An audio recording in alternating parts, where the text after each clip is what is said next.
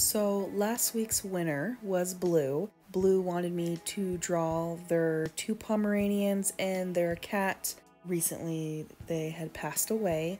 I typically try to just stick to one character, but Blu has been around a while, and I thought that it would be nice to do something with the three of them. I'm trying the new style that I've been poking at for this picture.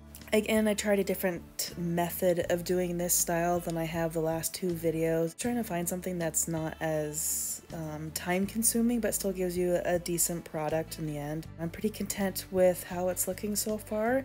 I love the eyes on this one dog. I thought those turned out really cool, like the shape and the, the lighter pupil. I think I'm getting a little bit closer to kind of narrowing down how I want to do this style. And I've always wanted to try to master the simpler way of shading. Like the fur on this one dog, you can tell there's like a little bit of fur detail in various places, but it's not superly defined like in some of the other artwork that I've done, or the majority of the artwork that I've done. I've always kind of admired the more simple, softer, textured fur.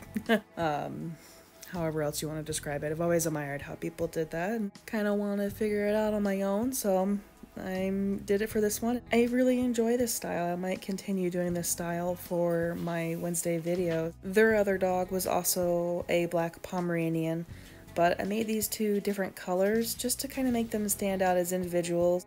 I was encouraged to use artistic license to kind of tweak them a little bit. I thought it might be kind of neat to memorialize them as characters. So each of them has a couple unique traits. Uh, the eye colors are obviously not super realistic, and uh, they're both, you know, they have some hue to their color, but they're still slightly different that they stand apart from one another. One thing I did different with this picture is trying to clean up the fur detail where it all breaks off from the mane, like the undercoat, and some finer details swirling around here and there, just to give it a more fluid feel to it, because I've noticed that the iPad doesn't seem to have pressure sensitivity and I'm having a tough time getting those nice shapes in there so that they aren't just blobs of lifeless fur. Her kitty is an orange tabby and uh, I had some fun playing around with the colors. Orange always has really fun contrasts in the light and the darker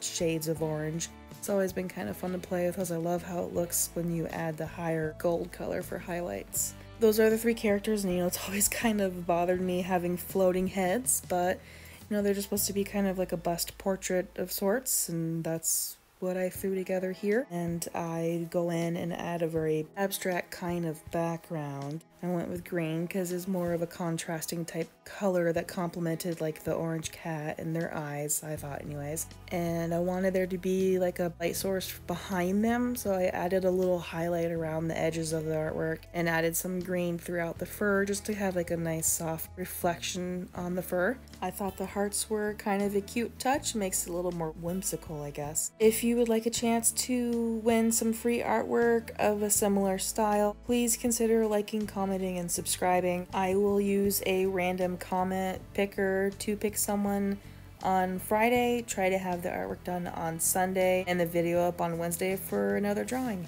Thank you so much for watching, and see you next time.